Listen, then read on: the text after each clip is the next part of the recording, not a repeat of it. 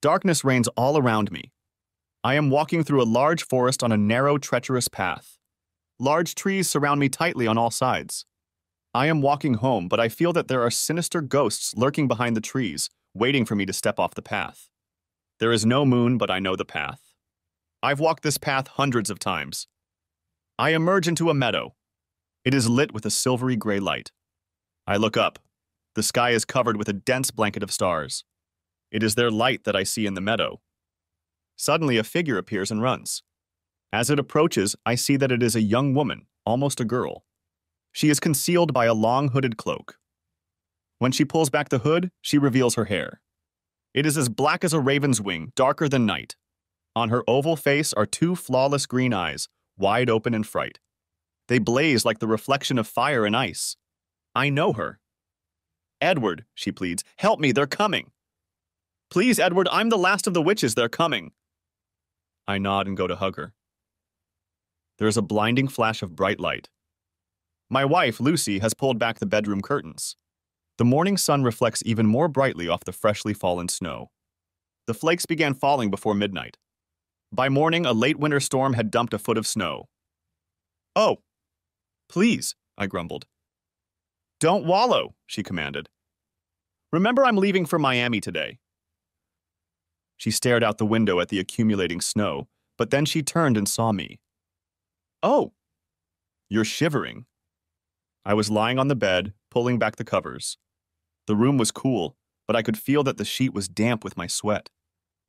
Is it that nightmare again? she asked. Yes, but this time it went farther. It spoke to me.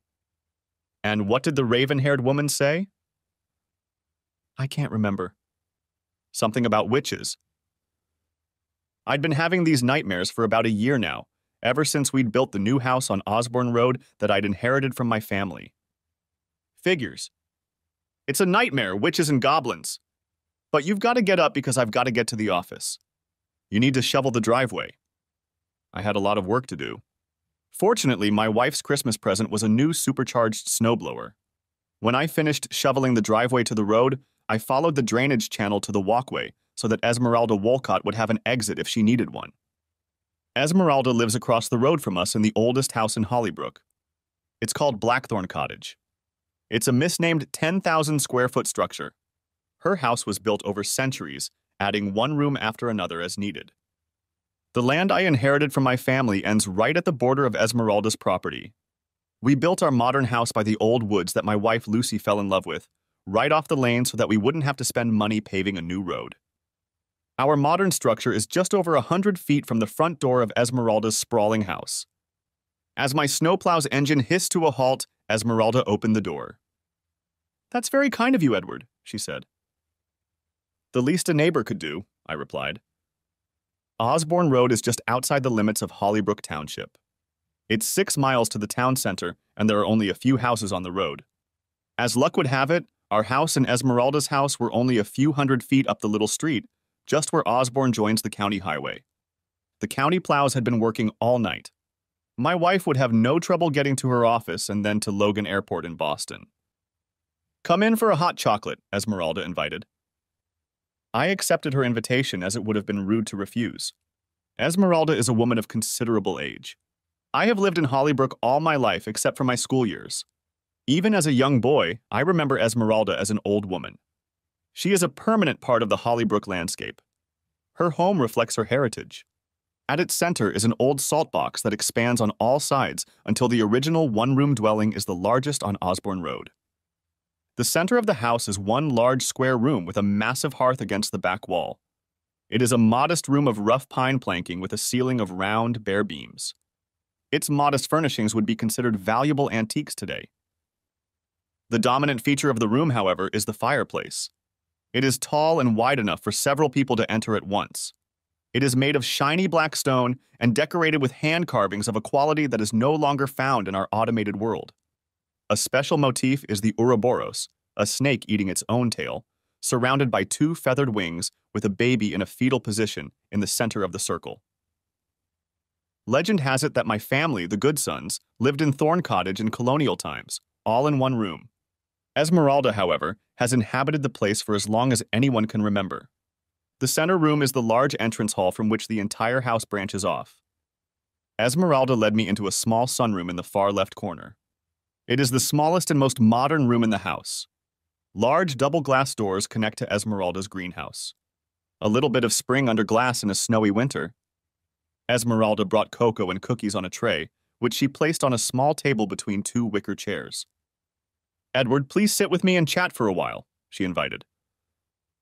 Okay, but I can't stay long. Lucy is leaving on business in Miami today. Don't worry, I won't keep you. Just long enough for you to warm up. She said it with a slightly mischievous note in her voice. She always called me Edward, not Ed or Eddie, and I always said Esmeralda, not Essie or Rila as they called her around town. She was known for her sense of humor and open personality. The local clergy didn't like her views on women's rights. She was a major patron of the Women's Health Center and financially supported our local family planning center. I must say the plants in your greenhouse are pleasing to the eye on this snowy day, I praised. Yes, they are nice, but keeping them blooming is a hassle. Still, we need them, don't we? She said, and paused, gazing into the compact glass structure. My oleander has had a particularly hard time this winter, but the mandrake, geraniums, mint, and sage are doing just fine. It was very nice of the Larch brothers to build a greenhouse for you, I thought. The Larch twins, Leonard and Chucks, were two of the ugliest guys in Hollybrook, but the ladies seemed to have a liking for them. They were especially friendly with Esmeralda. Oh, you know, I have a sort of barter with them, Esmeralda said with a wink. But tell me about your family.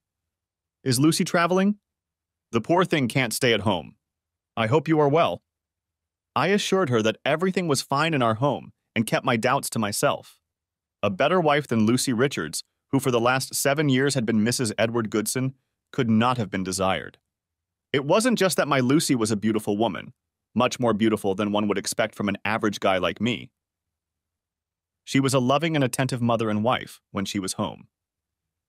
She ran her own business, a financial management firm called Peabody, Goodson, and Myers, also known as PGM Partners.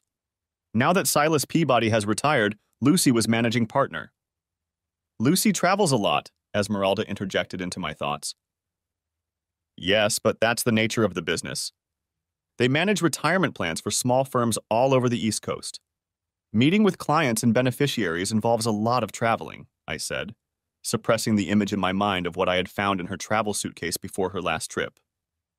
I hope she's not neglecting you, Esmeralda said. No, you can't blame Lucy for that. She keeps all the balls in the air and drops none. A truer statement I never met with. I couldn't claim neglect. When we were first married, my wife was incredible in the bedroom, and with the exception of the period before the birth of our twin daughters. Well, I don't see how a woman can run the house and work full time herself, Esmeralda was perplexed. Esmeralda's thoughts were in the kitchen and mine were in the bedroom, but I deftly brushed off her question now because Lucy was the primary earner and I ran the house and dealt mostly with the children. Our girls were my greatest burden and my greatest joy. As for the children, I suspect they fell into the difficult category, Certainly my wife couldn't handle them, but I could achieve instant obedience. It only helped if I was in close proximity. Because of this, I was housebound and appreciated my flexible employment.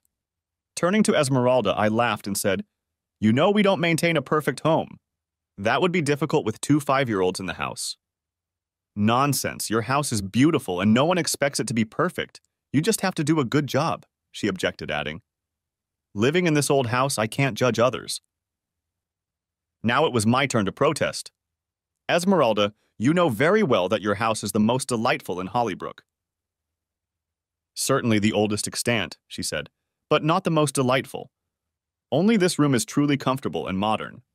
I built it for a man who loves light and nature, she said in a low and wistful tone. Often Esmeralda seemed to drift away to another time and place. I did not question her about for whom she had built the room, I always suspected that Esmeralda held a torch for a lost love. As my mother used to say, in old age, loss is the surest companion. Well, I have to go, I declared. I have a lot to do today. Yes, you are a very busy and hard-working man. In fact, you always have been. Arriving home, I found my two daughters excited. There would be no school on this snowy day, and my two little devils intended to take full advantage of it. They had already sent our cat Beelzebub into hiding. I'll have to lure him out for his morning feeding. The cat showed up about three years ago, around the time the shape of my marriage and life changed.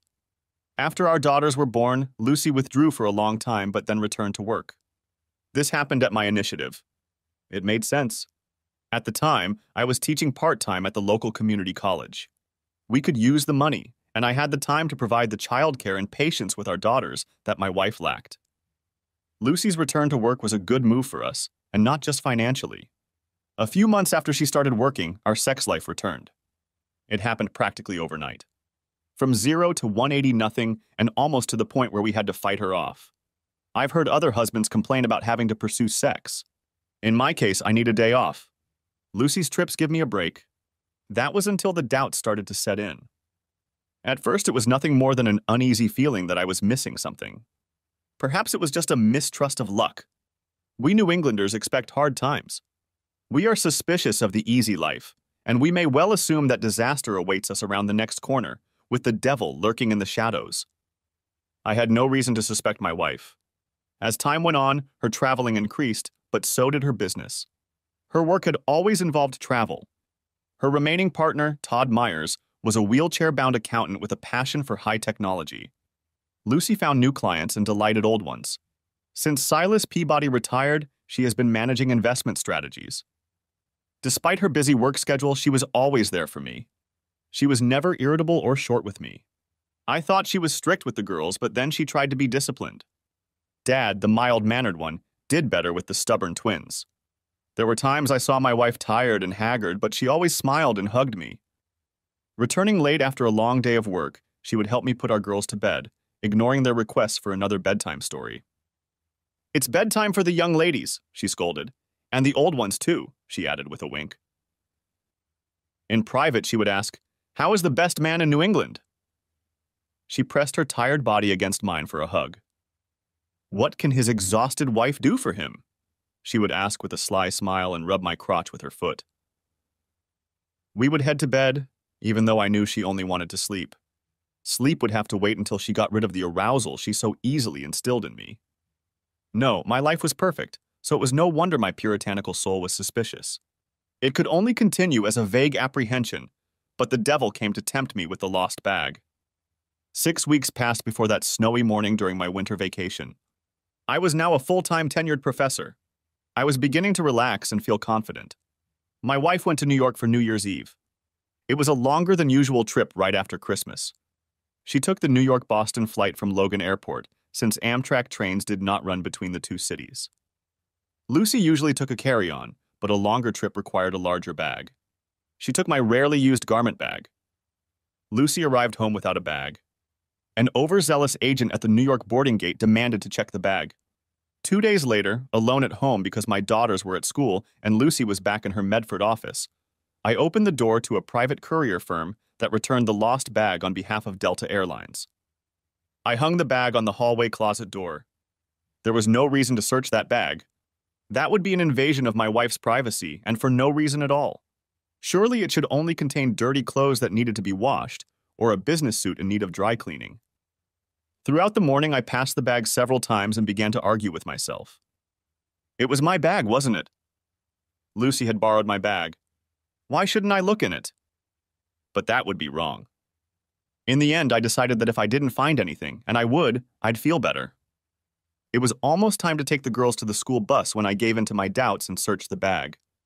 Placing it on the dining room table, I unzipped the main compartment. If I expected to see a business suit, I was wrong. There lay a green evening dress that looked expensive, and remarkably, I had never seen it before. I told myself that the dress proved nothing. So there was a holiday party for business associates. After all, she was going away for New Year's Eve. But she hadn't said anything about a party, or even an evening out.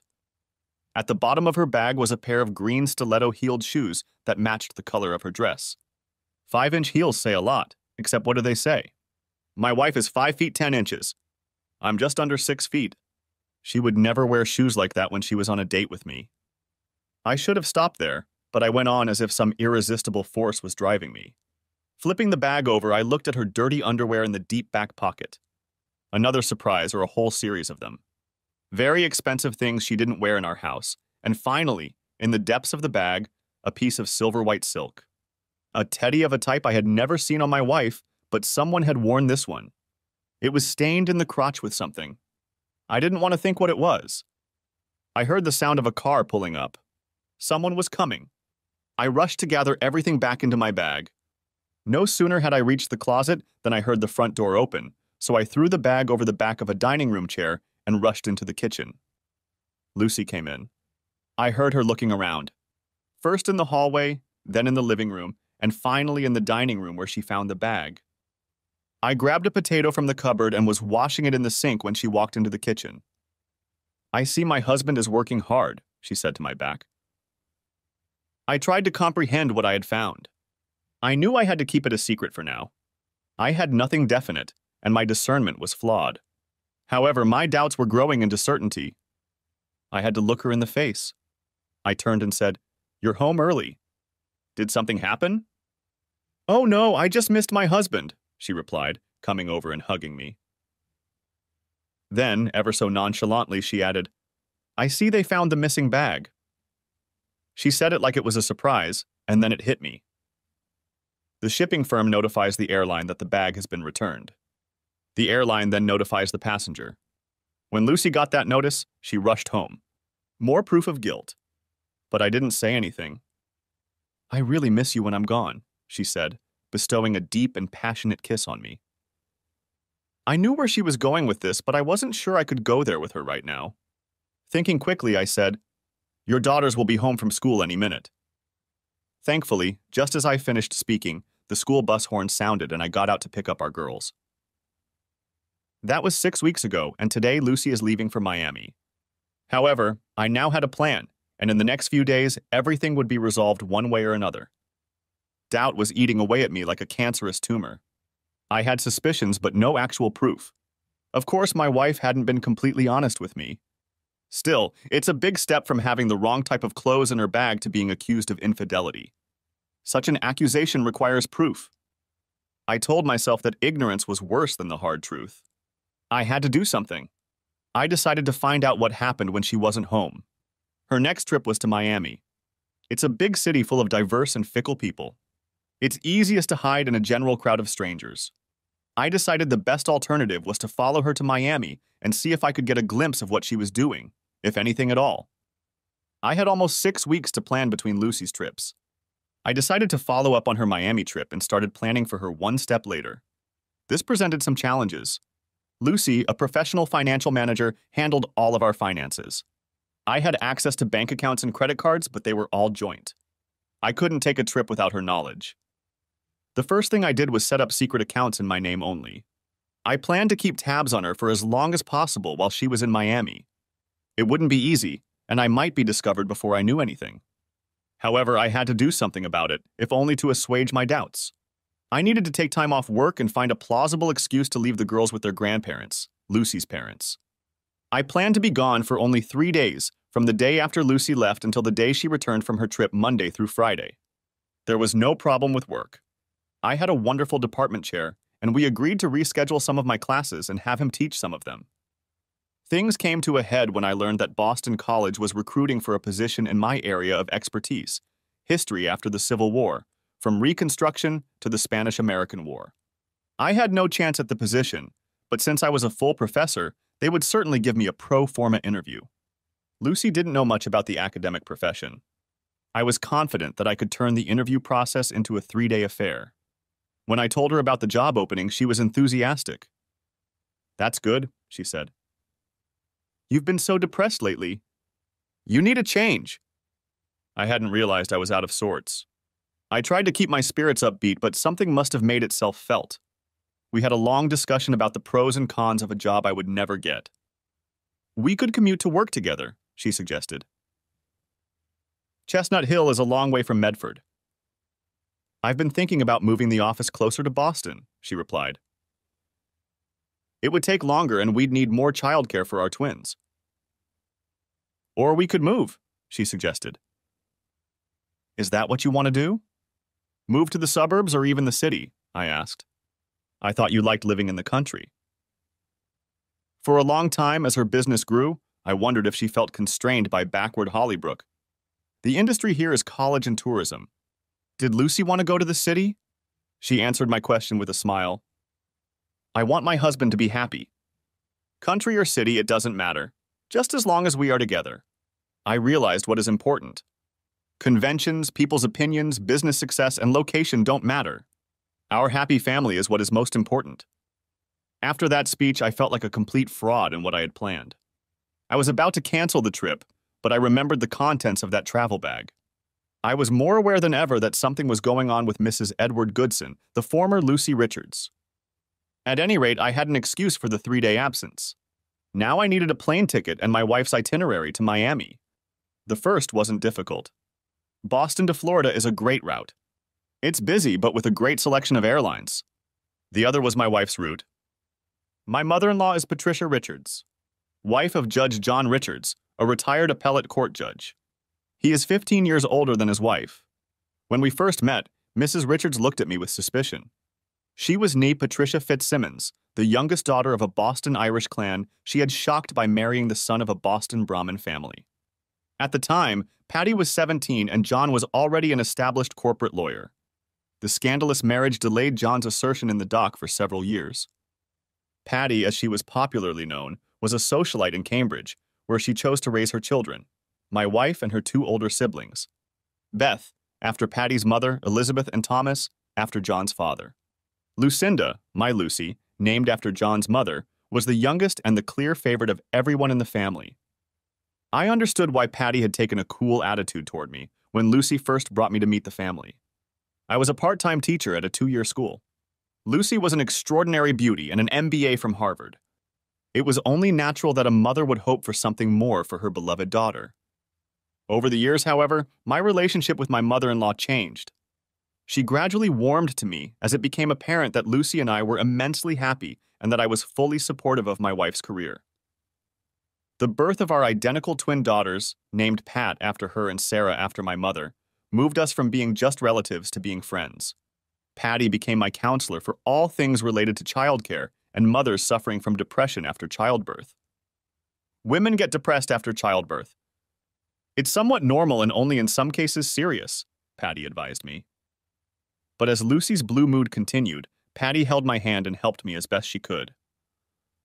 The first 18 months after giving birth were the hardest, but then Lucy went back to work full time, and overnight there was a miraculous change.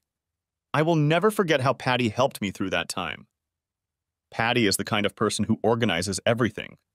Since she would be picking up our daughters while I was away, I involved her in the planning, knowing that she would know Lucy's schedule and mine. With my schedule, it was easy. I had a friend who worked as an assistant basketball coach at Boston College. It was that time of year when teams were often on the road. Larry was out of town, but he insisted I use his apartment, which was vacant. I'll leave the key under the mat by the back door, he told me. I'm glad you're interviewing for the position. I thought of you when I heard they were looking for someone for reconstruction. Larry and I met at a seminar at Gettysburg College. Larry was an African American, a Civil War enthusiast, and I was the speaker on General Longstreet in the years after the Civil War. Longstreet was one of the few Southerners who took his oath of office to the United States seriously after the Civil War, and for that he was generally hated by Southerners. Thank you, Larry. I've scheduled my interview for Tuesday morning, but if anyone asks, I'll stay with you until Thursday. I'd had lunch with Patty the week before Lucy's trip. If she suspected any deception on my part, she didn't give any sign of it. I'm looking forward to my granddaughters coming to Cambridge, she told me. Well, they'll probably stay with you for three whole days. I'll drop them off early Tuesday morning, I told Patty. That's not a problem. You deserve time to focus on your career. My daughter spends enough time away from home. She leaves Monday afternoon on a Delta flight and returns late Friday morning, Patty replied. It's not that hard, she continued. My daughter schedules a lot of free time. Late morning meetings and things to do by 3, and Thursday looks especially clear. Well, you know she's probably keeping her options open in case an opportunity comes up or something goes wrong.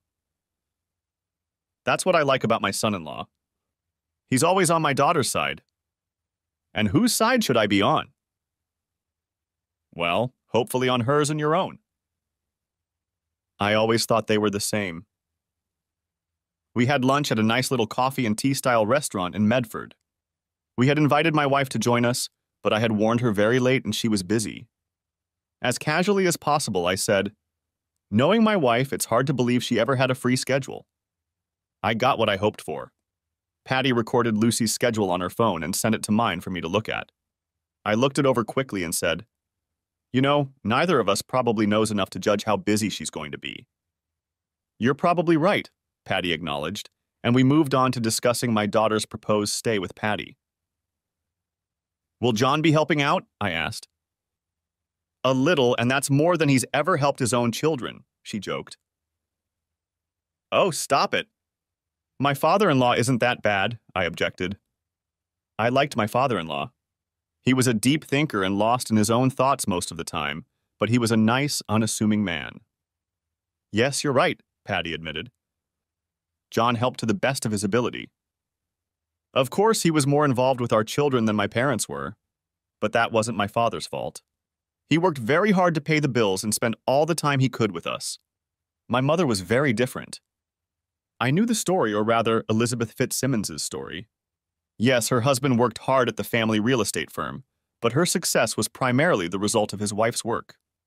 Fitzy, that's what they called her, was an extraordinary beauty, and she knew it and took advantage of it.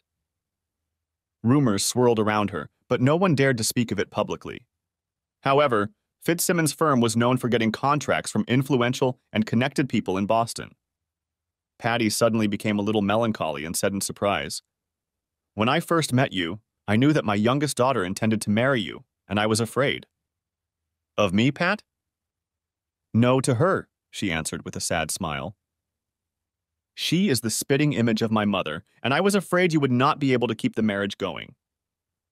But you proved me wrong, and my daughter has exceeded my expectations.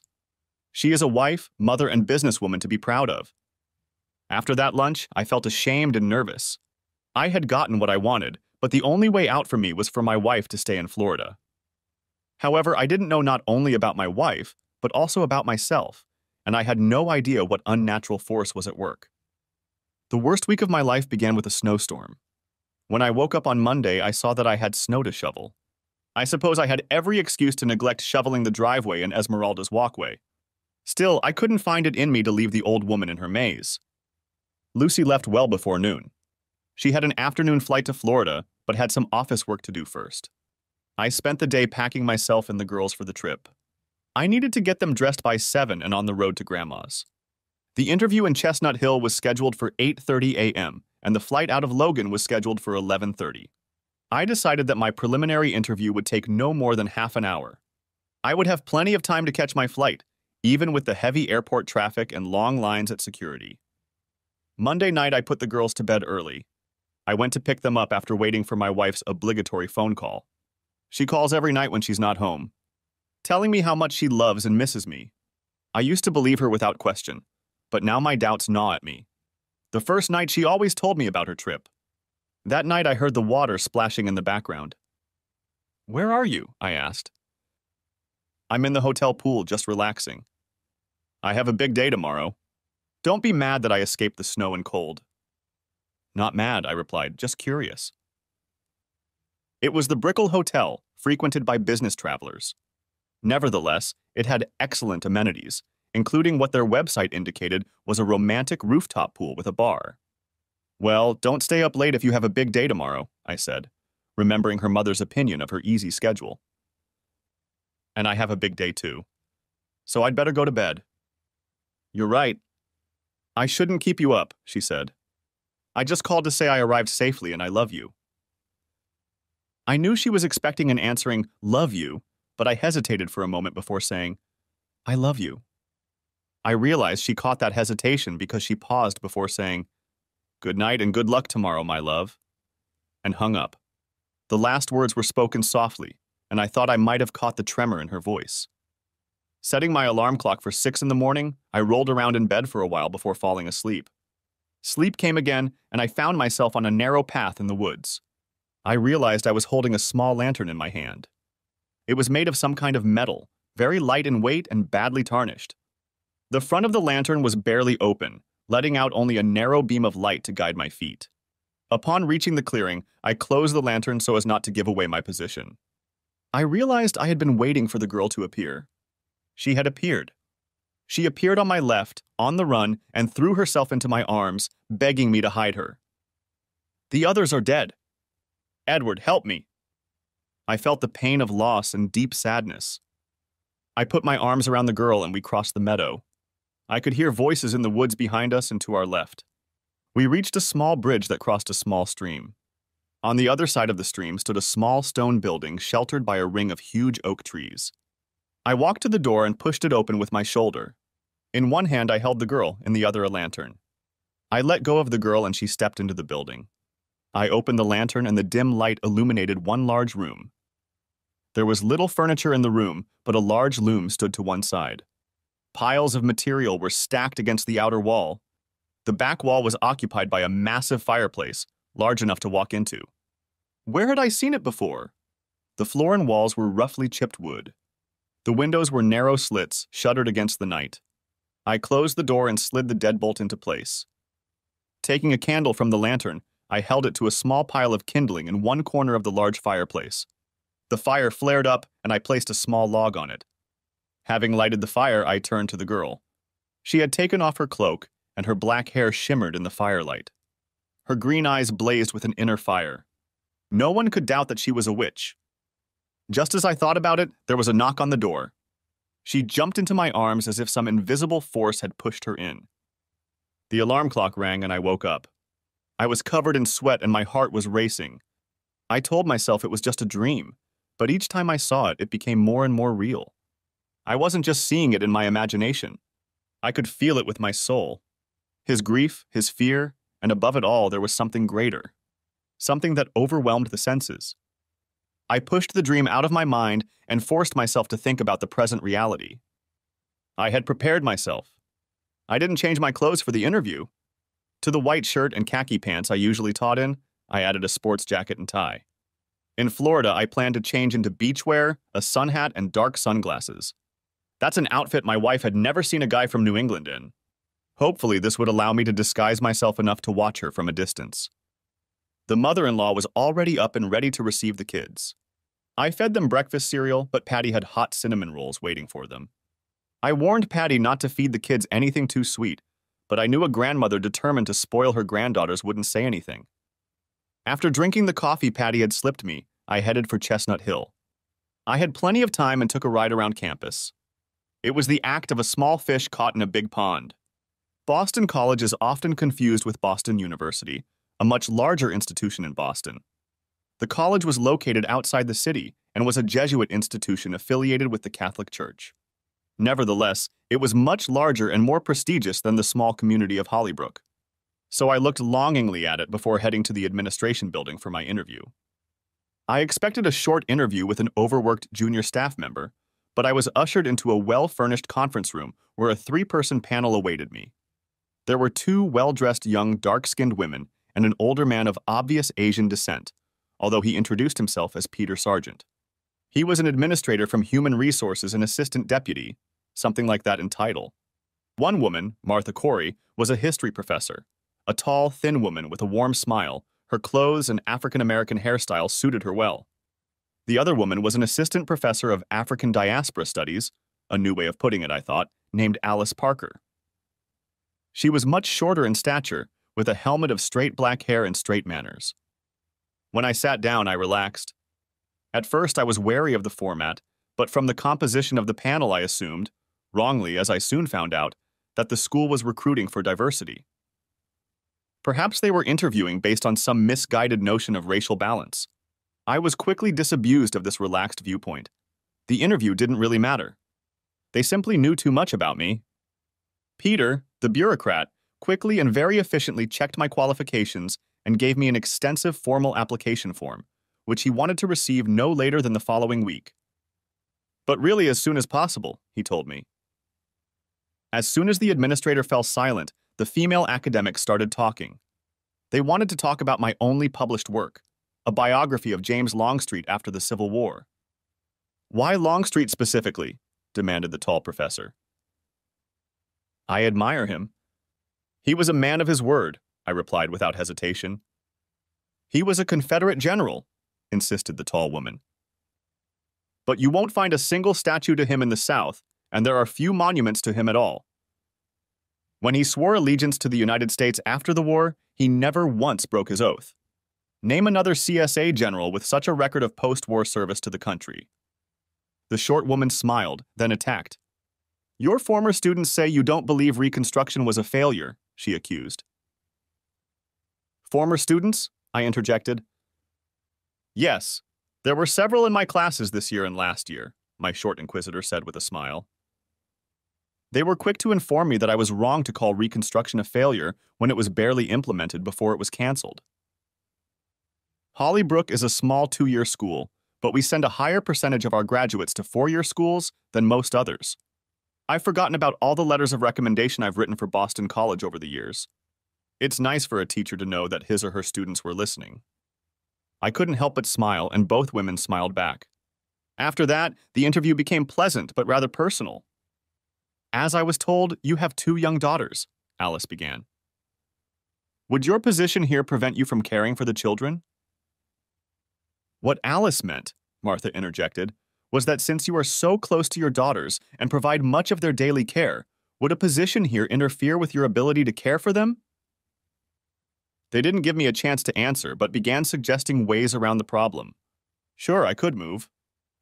Or you could put Sarah and Patricia in the day school here and work out a schedule of classes to accommodate your parenting needs. I'm sure his wife would help too, Peter said, stepping into the conversation. Both women frowned as if his suggestion was unhelpful. I had expected the interview to last half an hour, but it was 10 o'clock and there was no end in sight, and my plane was due to leave at 11:30. I was saved by Peter. That was very productive, he said. But we have other interviews, and my staff have texted me that one person is already waiting. Oh, that's okay, I understand, I said, trying not to show relief.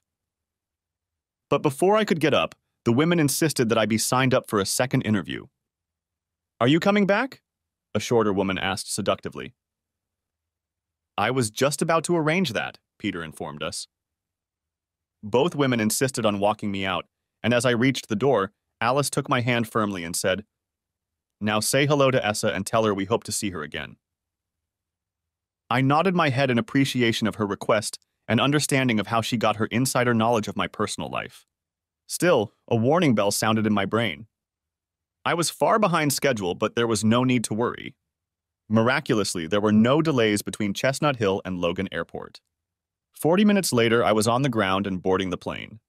No traffic, a parking spot right at the garage entrance, and no crowd at the security check? It was as if a secret hand had swept all obstacles out of my way. On the plane, I had time to try to make sense of the interview. They knew Esmeralda. It was the only thing that made sense. She must have told them about me. That's how they knew my daughter's names and how close I was to them. It seemed to be a personal connection, and maybe I was actually being considered for the job. It was a good feeling, even though I had no hope of being hired. The flight was three and a half hours long, and I fell asleep after an hour, still thinking about the interview. And then sleep returned.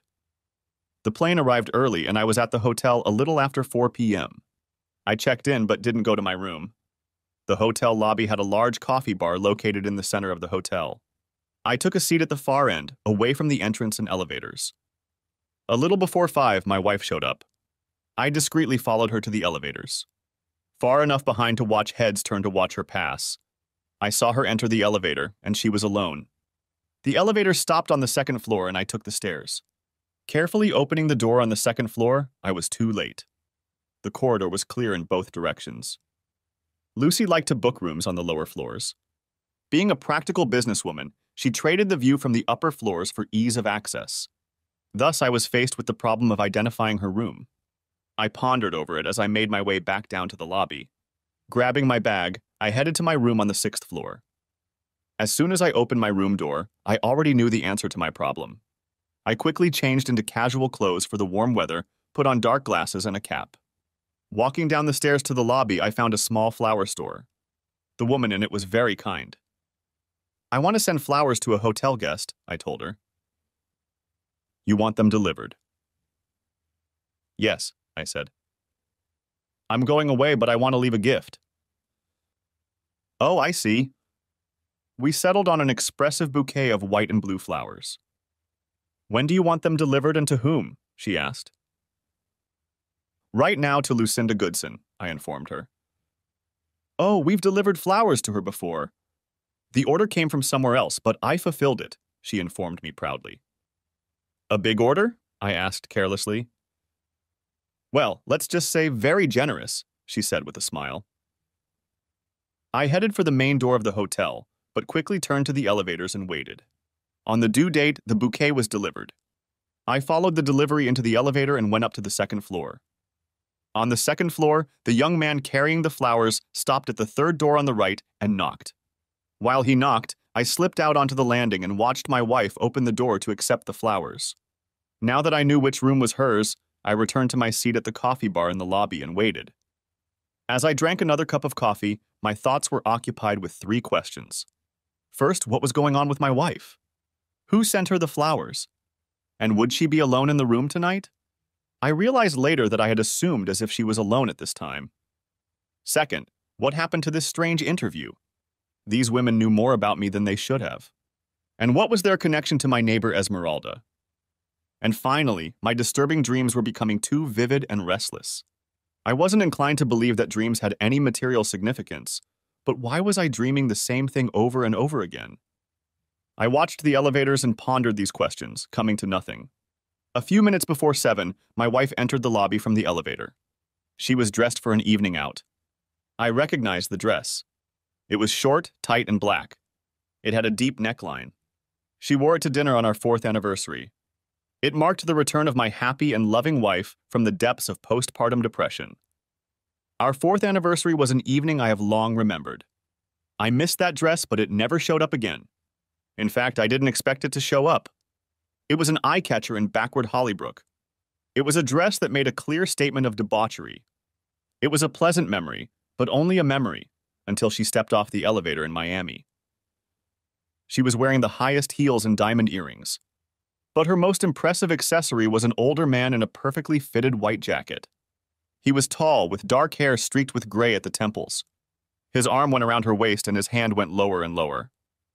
They were a stunning couple and had everyone in the hotel lobby in a tizzy. I was stunned.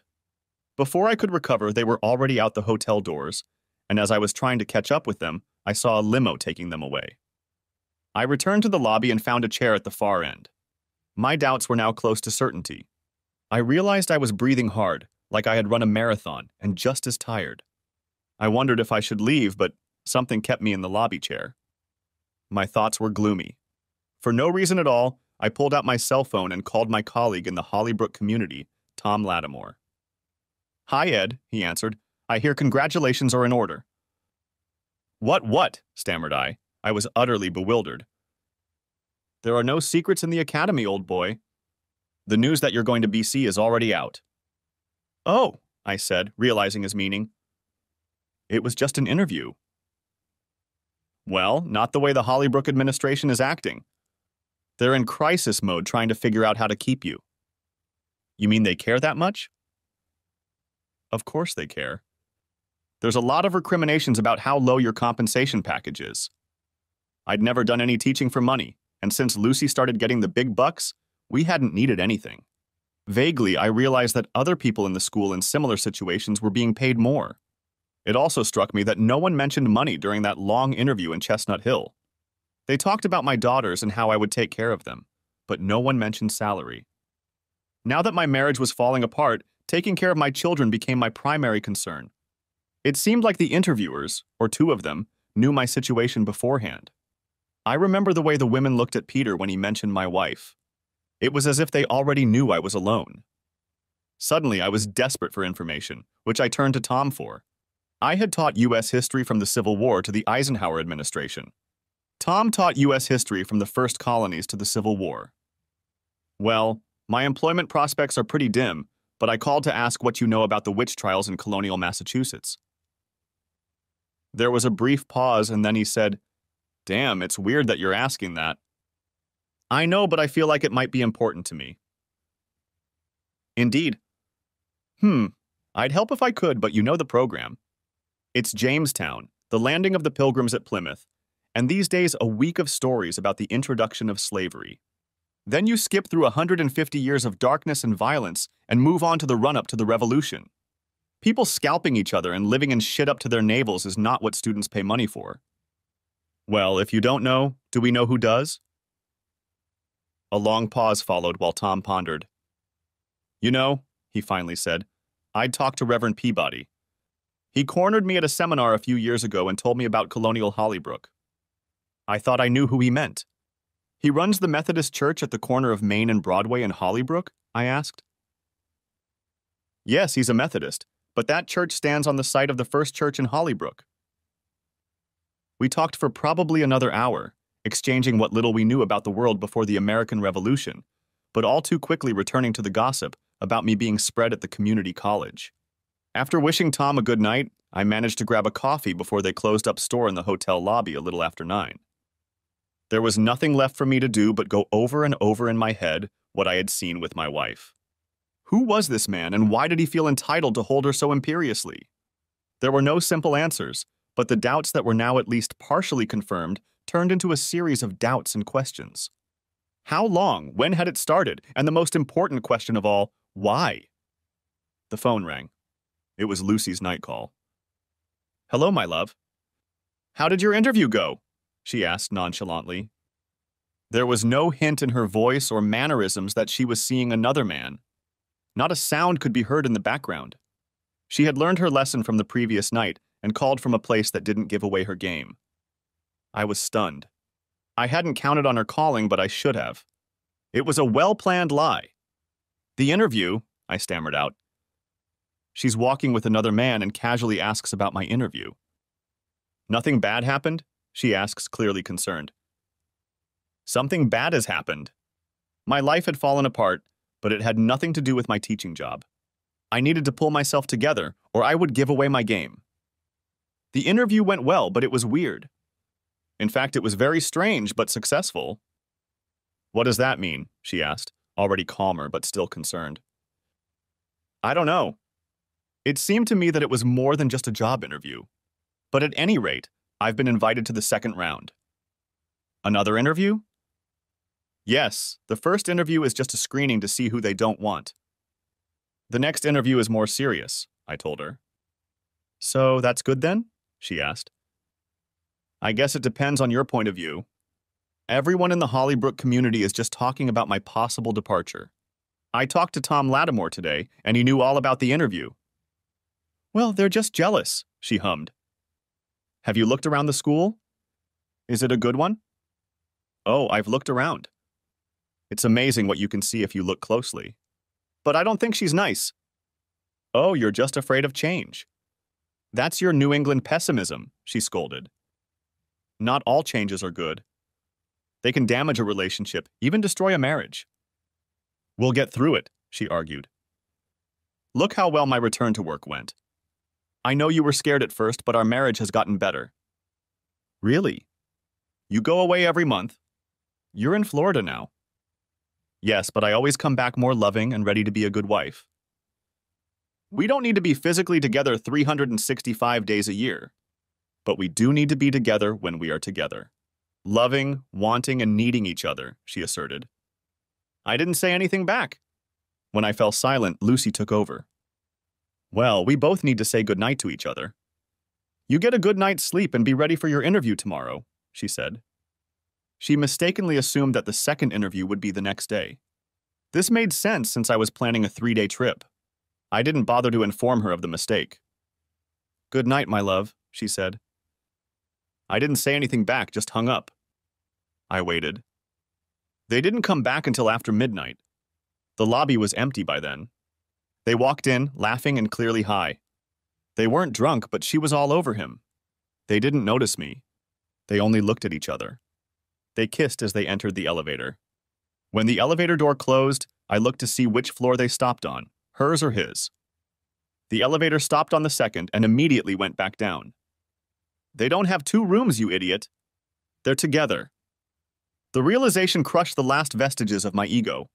This wasn't a chance encounter. He was her lover, and I was what? An idiot husband. I turned and looked around. It seemed someone else had spoken those last words. I walked up the stairs to the second floor.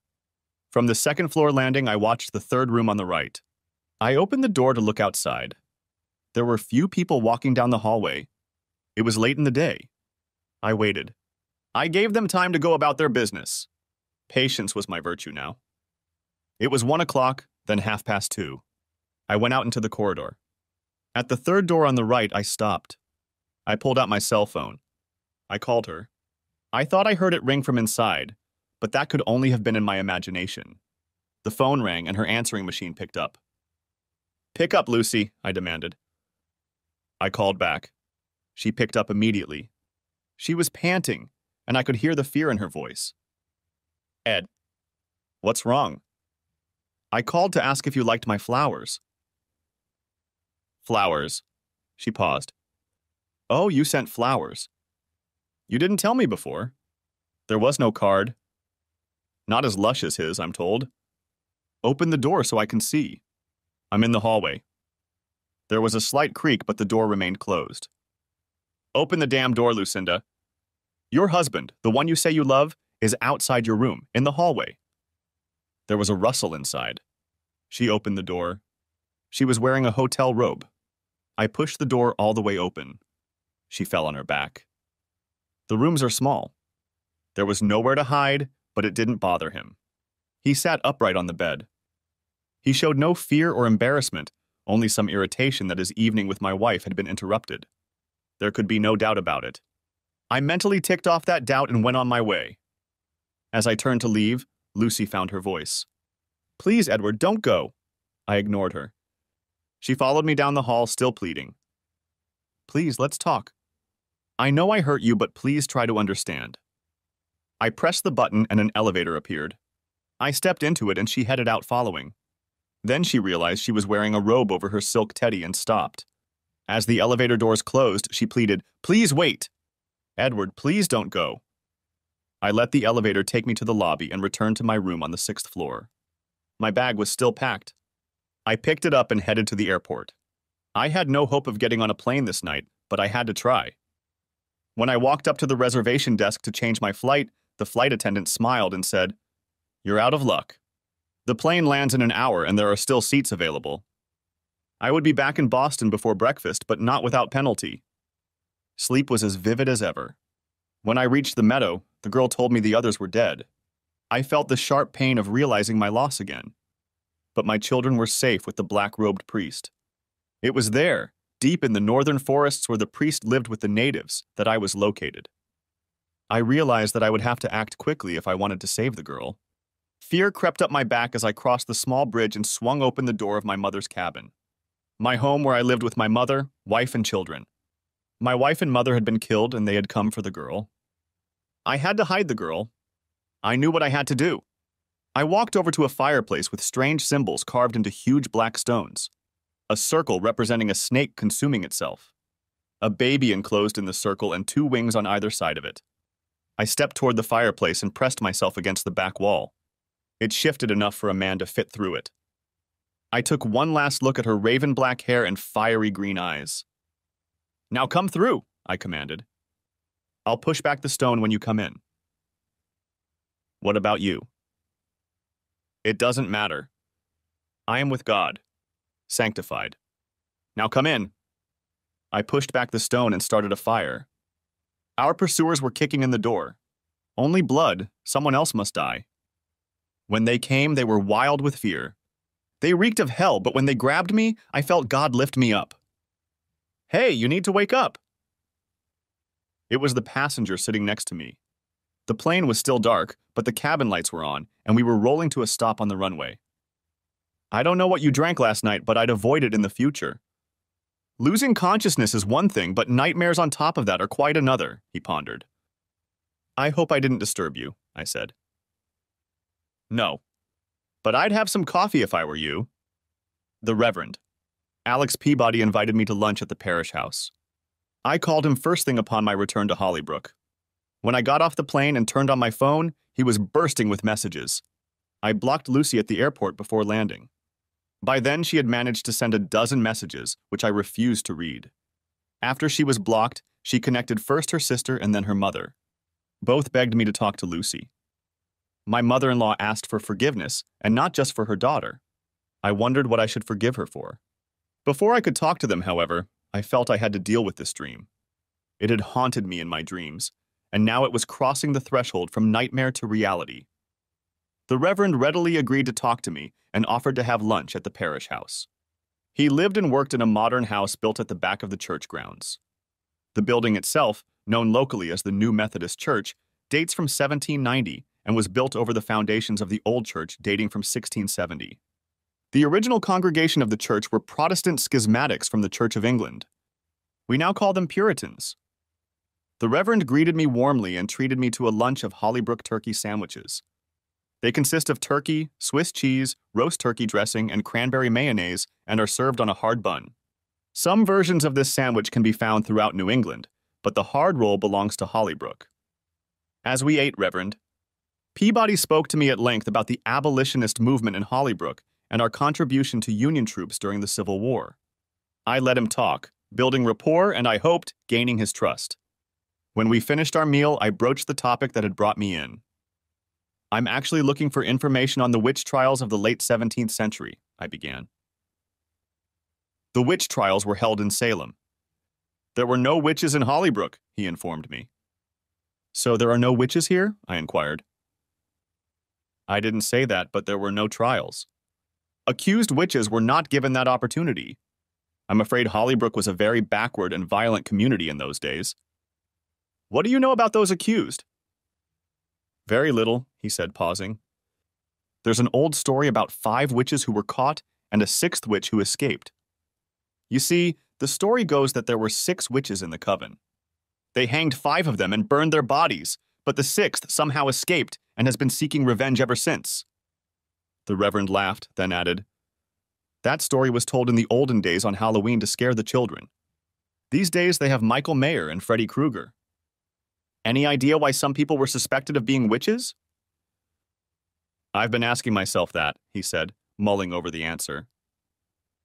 The few records that have come down to us from that time speak of bad luck. Unexpected bad luck. All the cows withered all at once. Strange diseases that seem to befall some and not others. After all, it could be written off as superstition. How would I check to see if my ancestors were related to the accused witches? Come on, I'll show you. He led me into a large room with walls lined with old books.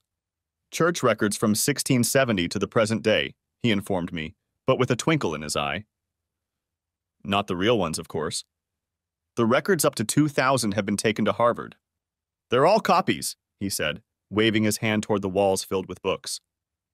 Almost all of the church's current income comes from genealogical research. People today want to know where they come from, and it's truly amazing that many of them can trace their roots back to the first settlers of New England. I didn't know that. Yes, but it's not that many emigrated. A few dissenters did leave England, but they took the admonition to be fruitful and multiply very seriously. I fear, however, that monogamy among them was more of an ideal than a reality. Things change the further away you go, I muttered. What was it? he inquired. I was just a little shocked by your notes. But tell me, what are computers for? I asked, pointing to a long table with several workstations. Well, students from Harvard are helping me compile a database. We've compiled it up to about 1740. Can we find my namesake, Edward Goodson? We can try, he said, sitting down in front of the screen. He typed in the name and after a few minutes found nothing. No Goodson. Oh, I said, disappointed. But you have to be persistent and a little creative, he told me. Names change over time. Your name is Goodson now. That doesn't sound at all like Eric's son or John's son. See, a compound name that distinguishes father from son. He typed again, then smiled. So, Edward Hood, born March 17, 1680, died March 22, 1705. Suddenly, he stopped and pushed back his chair. Oh my God, he wheezed. This is the same Edward Hood. Without further explanation, he stood up and walked over to the closet. Opening a drawer, he began going through a stack of thin papers until he found what he was looking for. It was a rectangular piece of onion skinned paper, probably 22 inches by 17. He placed it carefully on the table. They collect these, he said. Grave inscriptions. We stopped that practice in the churchyard. With unrestricted use, the stone wears out. But we can't protect all the headstones in the neighborhood. And this one is immensely popular because of the unusual image and promise. He spread the inscription on the stone, and on it, in addition to the name and dates of birth and death, was the symbol of a snake eating its tail. The baby in the fetal position was barely visible, and the wings on either side were rubbed. But it was unmistakably the same symbol as on the black stone of the fireplace. We suppose the wings may symbolize an angel, suggested Reverend Peabody. No, I said. Take a closer look. They're the wings of a bird. Hair as dark as a raven's wing, I thought. Yes, that's possible, he agreed. Can you take me to this grave, Reverend? It's a short walk, as it's not in the churchyard. You'll have to go back to the woods off Osborne Road. Of course, I thought. Where else would she put it? We drove the cars down the county road until we were west of Osborne Road. Then we had to walk into the woods, which was made even more difficult by the snow that still lay deep in the forest. By the time we reached the grave, it could no longer be mistaken for a grave. The snow had been shoveled off of it. The area around it was marked by five small stone pyramids. I did not immediately realize that they formed a pentagram. Instinctively, I knew that the pyramids covered the bones of witches who had been hanged and their bodies burned. I saw what she had written on the bottom of the tombstone I'm waiting for you. And that's when I realized everything. I knelt down and bowed my head. I saw that I had shocked a reverend who had come on a purely genealogical mission. The intervention of faith was unexpected and awkward. He was a man of faith who followed the example of his Savior and sacrificed himself for another, I explained to the dumbfounded minister. He lost everything he loved and had only his life left, but he gave it up for another. He may not have been a man in your sense of the word, but he was a true Christian. I thanked a rather embarrassed Reverend, Alex Peabody, for his help and removed myself from him. I think I'll walk from here, I said. If I go around this hill and across the path, I'll end up at home. I walked from the burial place of Edward Hood and his family. My ancestor's self sacrifice had a profound effect on me. My dreams had brought me closer to his spirit, and I felt both his fear and his faith. Now I sought the safety of my own home and perhaps a few hours of restful sleep. I felt physically and spiritually exhausted. But that didn't happen. My wife returned. We need to talk things over. She began an explanation that sounded and had the structure of a prepared presentation. Edward, I know I have hurt you deeply and caused you unforgivable pain. But please give me a chance to explain my actions before you take any irreversible steps. Give me a chance to earn your forgiveness. She paused, waiting for some sign from me that it was okay to continue. I nodded in agreement and she began. Three years ago, I was in a terrible position. As you know, after the birth of our twins, I suffered from postpartum depression. Giving birth to the twins didn't help. The physical and mental stresses of dealing with two babies were beyond me. Fortunately, I had a caring and understanding husband. She paused to smile and nod at me. As befits a presentation, she got off to a great start. She's a great businesswoman and had clearly thought through how to present her actions. I started working full time when the twins reached their dreaded age. It was one of two things either go crazy. She was right. She barely survived our daughter's infancy, at two years old, the girls were showing a propensity for antics that required my constant attention. I was even glad Lucy had gone back to work so I could focus on the girls without having to worry about my wife's needs. As you may remember, she continued, I attended a professional development program in Newport, Rhode Island. You didn't go because Patty came down with an ear infection, and it looked like Sarah might have gotten the same thing. I had to get continuing education credits for my financial planner certification, I remembered that certification wasn't a requirement for those in Lucy's position, but it was nice to have it. That week, our Patty got sick. The girls had just started kindergarten and there was some kind of bug. Patty was prone to ear infections, and what one twin got sick would soon spread to the other. Accompanying his wife to her three day course at a luxury resort was out of the question. I went alone and ended up next to Carl. He was the very real definition of a tall, dark, and handsome man. He immediately started flirting with me. At first, I tried not to respond. There was a slight pause in her monologue, and I could see her mentally reliving the moment. So, she continued, that night a group of us went out drinking together. I found myself paired up with Carl. He kept dropping compliments and using all his charm. Finally, I raised my hand and said, Look, I'm married. He just smiled, raised his hand, and said, Me too. Turns out he has a wife and two boys, but he is still in relationships with other people. I told him I didn't like that kind of freedom, and no matter how tempted I was, it wasn't going to happen, and it didn't, at least not then. She paused to make sure I was listening and not moving away from her. I think at this point she was expecting some sort of protest from me. Not seeing it, she continued. When I got home, I was irritable and even more depressed and unhappy. It was clear to me that going back to work alone was not going to help me solve the problem. You may recall that I was seeing a therapist at the time. Margaret Salton, I interjected. I remembered Maggie. We'd had a few sessions when we'd both met with her, but she had made it clear that she was Lucy's therapist. I only remembered the last session clearly because I thought something was wrong, and in the entire 50 minute session, she never once looked me in the eye.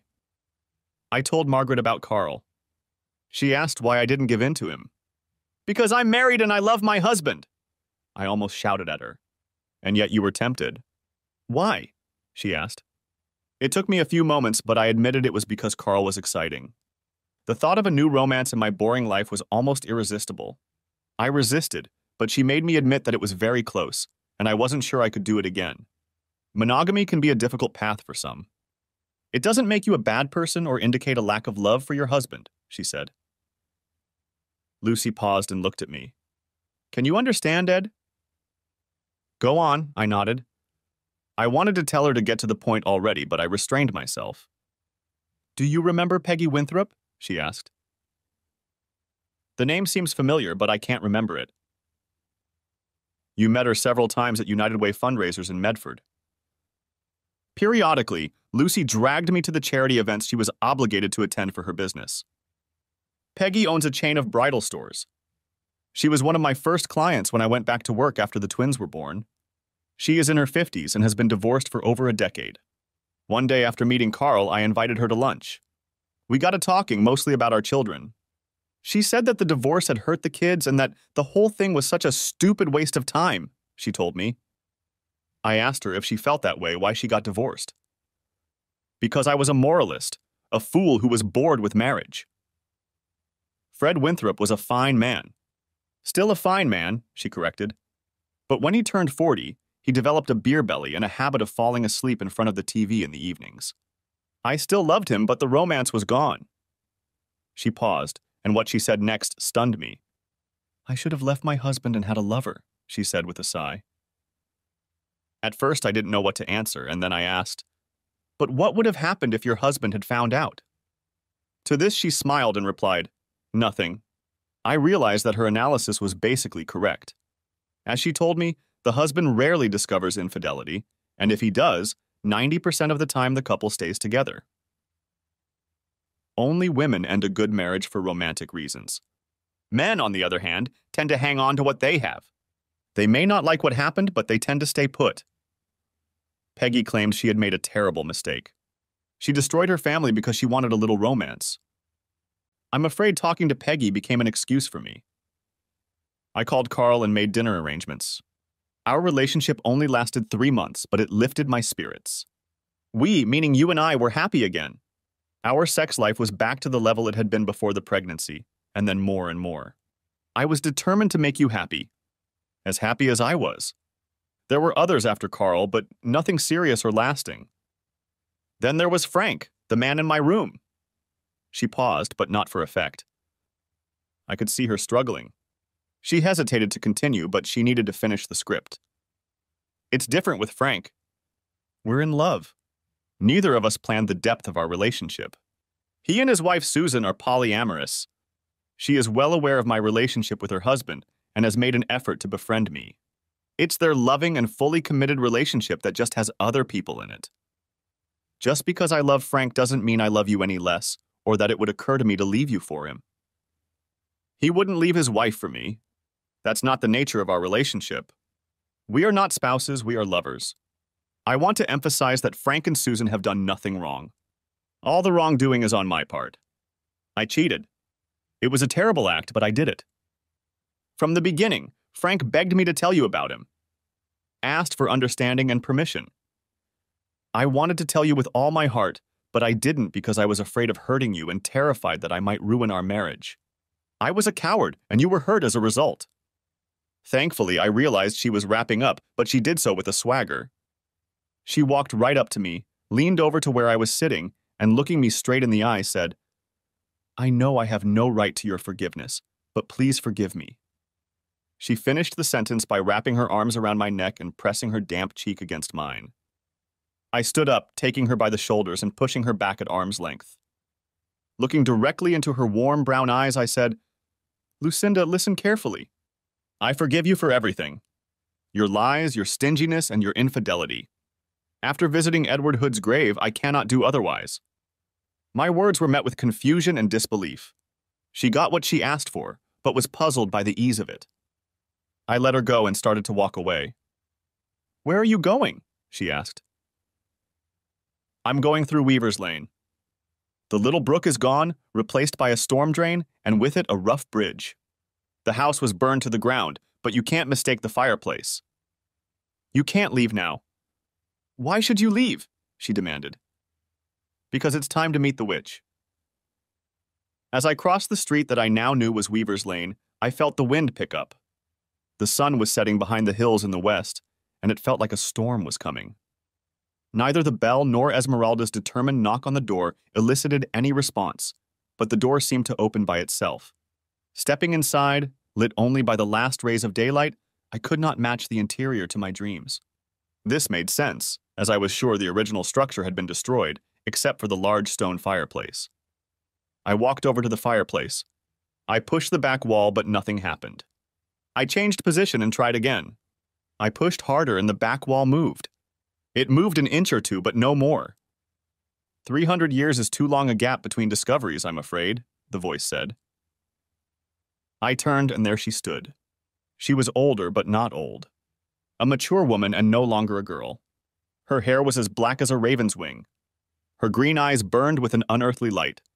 She seemed even smaller than in my dreams, but she was incredibly beautiful. We stood looking at each other. Two beings bound by an act of absolute selflessness committed some 300 years ago. Finally, she spoke, and her green eyes seemed to soften and dim. I've been waiting, she whispered. I didn't know what else to do. She turned away as if unable to look at me. Do I really look that much alike? I asked. She turned to me again and shook her head. Similar, but not the same but his soul is your soul. I knew you would come back. You couldn't stay away forever. And how long would you have waited? As long as it took. Tell me about him, I asked. She walked over to me, wrapped her arms around my waist, and pressed her face against my chest. Then she spoke. We came from the old world with the pilgrims. We thought we had escaped persecution, burning, drowning, and torture and then it all began again in the new land. You led us away from the coast and deep into the forest. You built a shelter behind the hearth. We lived here in safety, but there were more and more people. Then hard times came. Hard times came, I prompted, mentally visualizing it. The harvest failed. The game left the northern forests and went south. The cold weather intensified. And then I began to transform, she told me. I reached puberty. My blonde hair darkened and my eyes changed color, she said, looking into my eyes. I didn't know how to hide the change. I was too young. It's not your fault, I assured her. Some are more powerful than others. You have to have time to learn to deal with it. She nodded and continued. You knew the French priest. He was one of us. He lived in the Green Mountains with the natives. You took the children to him. We were planning to flee north when you returned. Follow a false trail. I knew it now. What happened? Measles? You barely had time to leave before it started spreading. Like a deadly angel striking them. It didn't touch us. It couldn't. It was the last straw. They struck before the rest of us could hide. I was far away in the woods trying to avoid the humans. They hanged the others and burned their bodies. Then they came looking for me. But I found you first, I said, smiling at her. Oh, Edward, they tore you to pieces. They destroyed the cottage looking for me. And then the storm came. I heard it. Nothing for a moment, and then a great roar, as if the heavens were angry. With the cottage gone, they had nowhere to hide. The strong wind tore the trees out of the ground and forced the men to flee. And you buried me after that? asked I. Yes, and I waited to repay you. People were afraid to come here after the storm, and many did not survive another disease that came upon them. It wasn't my fault. It just happened. I rebuilt the cottage and waited for you to come back. I pulled her against me and felt her shiver with grief and relief that her torment was finally over. She was the essay witch, and Esmeralda was her disguise. She could change her appearance. For her, it was like putting on a cloak. I don't know how long we stood in front of the huge stone hearth. Night had already descended completely. Let's go to my place, I said at last. Away from these sad memories. As we walked down the path, she asked me, How can I repay your sacrifice? Dear Essa, it was no bargain. Edward Hood made his sacrifice and joined as God. I am but an echo of the past. But I need you, she pleaded. I've been watching you and helping you. I can only do little things. I can make homeboys welcome, send a cat to watch over you. But everything I could do, I did so that one day we'd be together again.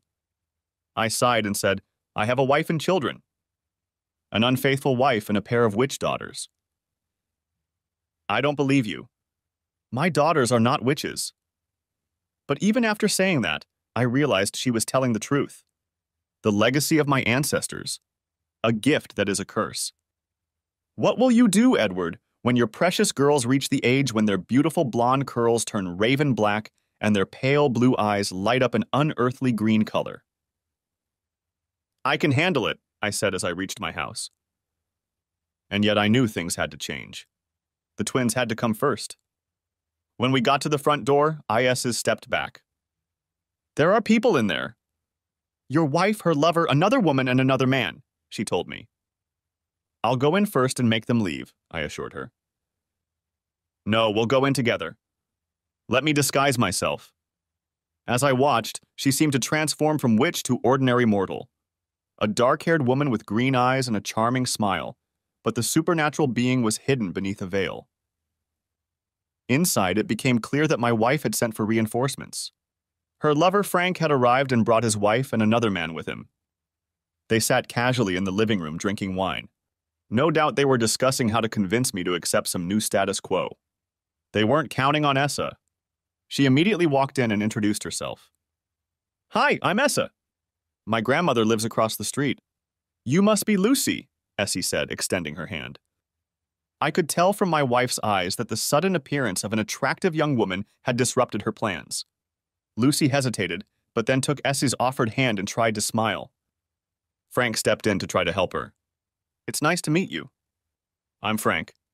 This is my wife Sheila and our close friend Oscar, he said, and then turned to me and held out his hand. I apologize for not introducing myself last night, but the situation was awkward. Sheila was a short woman with blonde hair, I figured she was in her early 40s, probably a year or two younger than her husband. Oscar was a tall young man, no older than 25, his skin the color of coffee. Oscar was blatantly peeking at Essa. I let Frank's hand hang there until he lowered it. I wasn't about to welcome him into my home. At this point, my wife seemed to find her speech. I didn't know Esmeralda had a granddaughter or children, Lucy demanded. My wife was both hostile and suspicious. We live in western Massachusetts, and recently I was visiting friends in Chestnut Hill. Oh, is that near Boston College by any chance? My wife accused, her eyes narrowing. Actually, not too far away. I took this opportunity to look for a house for Ed, the girls, and me. He's probably going to be hired for a teaching position at BC, and we want to leave Hollybrook and its bad memories behind us. I could tell from her words that Essa was maneuvering behind the scenes. My dreams, a new job, and the discovery of my wife's infidelity. There were no unexplained miracles. Visions of the past disguised as dreams, nagging doubts, a lost bag, a job opening, a witch doctor interview, and perfect timing for a trip to Miami and back. Just luck, you'll say. But was it luck or bad luck? For 300 years before that, the people of Hollybrook had been unlucky. Is it our fault? My wife spoke. Or rather, she yelled. Listen, you bitch. I don't know who you think you are, but nobody's going to take my husband and kids away from me. No one's taking them away. You threw them away yourself. I waited a long time for my man. But I gave you every opportunity and all you did was cheat. As for Sarah and Patty, I'll let them choose, but you already know where their hearts lie. Don't you, bitch? At that moment, Frank tried to get between the two women who seemed about to pounce on each other. But he tripped and fell, hitting the end table. Blood was pouring from the wound on his head. There was a lot of blood. Lucy and Sheila rushed to his aid. Oscar had lost consciousness. Essa pulled out her cell phone and called for help. Then she whispered in my ear, I think my work here is done. She pulled me out of the house, and once outside, I asked, Where to now? I think we should spend a few days with Alice Parker while we look for a house.